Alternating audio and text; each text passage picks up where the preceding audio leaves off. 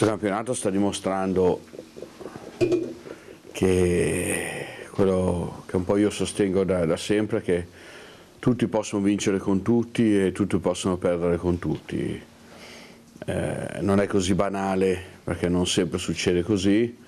però questo campionato è particolarmente equilibrato, lo dicono i risultati, lo, la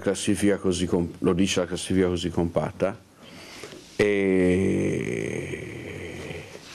ed è chiaro che in questo momento noi dopo 5 vittorie consecutive eh, in una classifica così corta e compatta abbiamo fatto un salto in avanti altissimo. Eh, io se c'è una partita penso che sia difficile e, e, che temo particolarmente è quella di domenica, per, varie, per vari motivi. Eh, il primo motivo perché Pistoia è forte e gioca molto bene. E hanno questa forza di non arrendersi mai durante la gara, hanno trovato un equilibrio perfetto eh, di secondo me due giocatori, il playmaker e la guardia, che forse sono tra, tra i migliori del campionato perché Moore si sta dimostrando dopo Caserta di essere un vero reale playmaker eh, che fa giocare la squadra, che trova punti, che trova penetrazione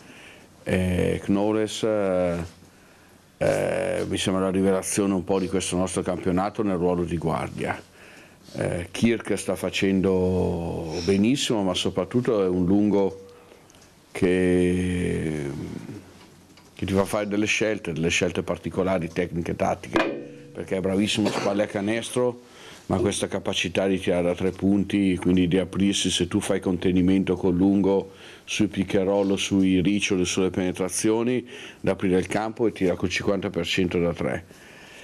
Eh, Ciz dà energia, americano nel 3 con, con, Lombardi da dietro danno forza sono una squadra veramente molto completa. E poi mm, bisogna dare merito